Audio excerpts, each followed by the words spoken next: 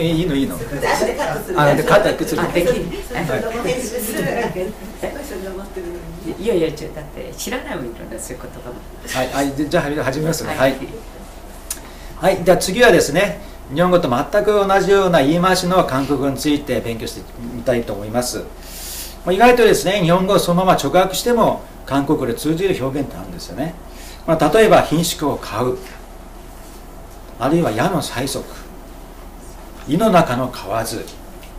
そして火に油を注ぐ。風前の灯火とかですね。良薬は口に逃がしとか。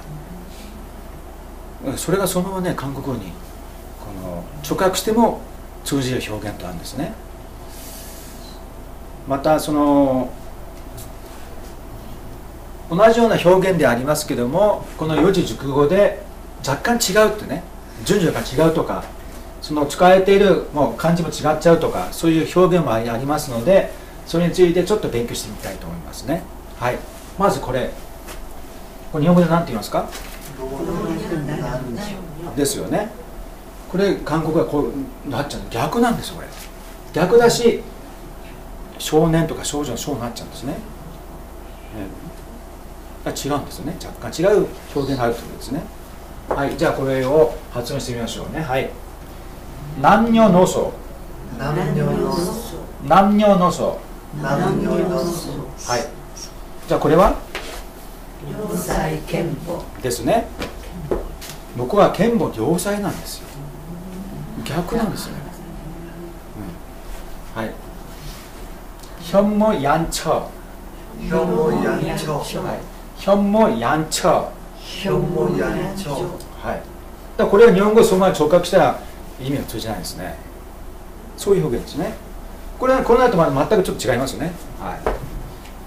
これは何ですか？それが韓国ではボーボー曲曲聞いたことないですよね、はい、じゃあ発音はパンバンコッコパンパパンンパンコパンバンコッコパンパンココはい最後にもう一つこれは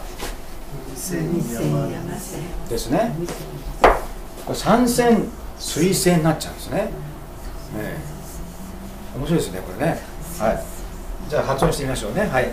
サンジャンスジョンサンジャンスジョンサンジャンスジョンサンジャンスジョンという感じなんですね。あともう一つですねこの面白いのがこの八方美人って言葉ありますよね日本語で。あれはね韓国語と日本語でね全く異なんですよ。日本語では八方美人ってあんまいい意味に使われないと思うんですよね。あれもこれも手を出してなんか節操がないとかね。しかし韓国語では違うんですこの人はあれもこれもできる能力のある人ってことで褒め言葉なんですね。